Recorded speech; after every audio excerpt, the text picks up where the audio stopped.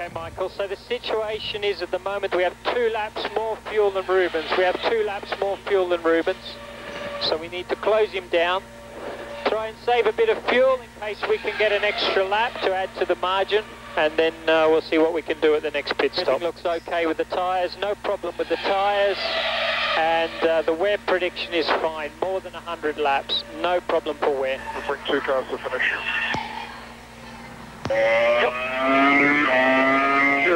Reducing the RPM and making sure we're on 50 easy. That's a pretty good thing.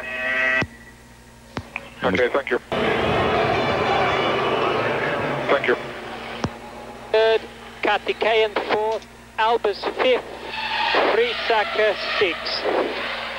And uh, Raikkonen actually is eighth, so that's where he'll go out. I remind you again, picking up rubber.